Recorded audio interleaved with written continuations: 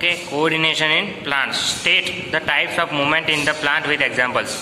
Plant show two different type of the movement plant में दो type की movement अभी देखो, किसी में भी दो टाइप की मूवमेंट होती है, एक उसका ग्रोथ होना और वो फोल्ड हो जाना। तो पहली बात करेंगे हम कि वो ग्रोथ करता है और सेकंड में बात करेंगे हम कि वो फोल्ड हो जाता है। तो first growth dependent movement when a seeds germinated and root goes down the stem comes up into the air the directional movement of the seeding is caused by growth if it if it is prevented from growing it will show it will no show any movement तो जब इसमें क्या होता है कि जब growth dependent movement होती है उसमें सीड क्या होता है जर्मिनेट प्रोडक्शन होता है रूट डाउन जाती है स्टीम अप जाती है तो directional movement of the seeding is caused by growth if it is prevented from growing it will not show any movement second growth independent movement when we touch the leaves of a chui mui means mimosa plant they begin to fold up and drop the leaves of such a plant move very quickly in response to touch there is no growth involve in this moment means इस moment में कोई भी आपकी growth नहीं होती okay okay? ये हो गया किसका? Coordination of plant second immediate response to stimulus how does the sensitive plant detect the touch and how do the leaves move in response. The sensitive plant show visible movement in response to touch. This plant lacks nervous system and muscle tissue. The sensitive plant means touch me not plant या तो mimosa plant show visible movement in response to touch. This plant lacks nervous system and muscle tissue. Insensitive touch me not plants if it if the uh, in a sensitive touch me not plant या तो mimosa plant या तो chui mui plant if we touch the leave we find that it leaves immediately fold up and drop तो क्या होता है, जब भी आप मिमोसा प्लांट को जब भी आप टच करते हो ना तो उसमें क्या होता है कि जैसे आपने टच किया, वैसे ही उसके प्लांट है ना, वो फोल्डिंग हो जाते हैं और उसमें से मीन्स जो ग्रोथ होना चाहिए, वो ग्रोथ होने की बजाय वो फोल्ड हो जाता है।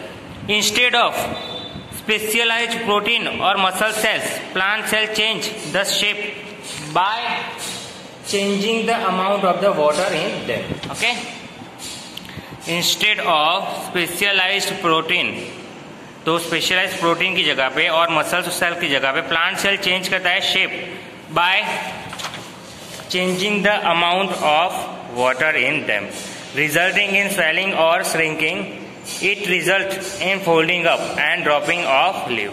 Thus, the sensitive plant detect the touch and its leaf move in response. Okay. तो देखो ये दो प्लांट अलग अलग आपको दिखाए हुए नीचे movement of mimosa plant okay अब next how is the coordination in plant differ या तो different from the coordination in element तो जो प्लांट का जो एनिमल सॉरी प्लांट का जो कोऑर्डिनेशन होता है, वो एनिमल के कोऑर्डिनेशन से डिफरेंस क्यों होता है? तो उसके बारे में अलग अलग पॉइंट्स पढ़ेंगे हम. First animal have a nervous system for a controlling and coordination the activity of the body but plant have neither nervous system और नॉर मसल्स एनिमल जो है animal have a nervous system animal में nervous system है किसके लिए? तो controlling and coordination के लिए और बॉडी की एक्टिविटी के लिए। जबकि प्लांट हैव नाइदर प्लांट में कोई नर्वस सिस्टम भी नहीं है और मसल्स भी नहीं है। तो first point animals have a nervous system for the controlling and coordinating the activity of the body but plant have a neither a nervous system nor muscles second unlike that animal, the plant do not possesses any mus muscular tissue or any specialized protein. Even then, the plant cell change their shape by changing the quantity of the water content therein.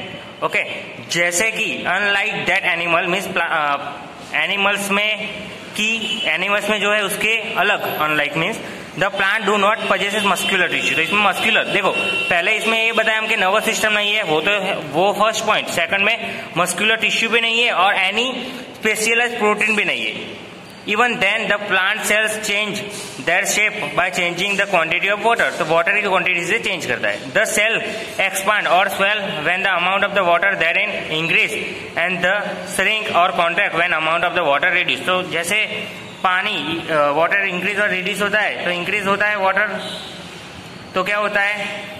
और decrease होता है तो क्या होता है? तो कब उसका ग्रोथ होता है और कब उसका ग्रोथ श्रिंक हो जाता है या तो कॉन्ट्रैक्ट हो जाता है, वो बताया सेकंड पॉइंट पे। Third unlike that in animal the plant have do no tissue to pass any message from one tissue to another yet the plant cell can pass electric and chemical signal क्या?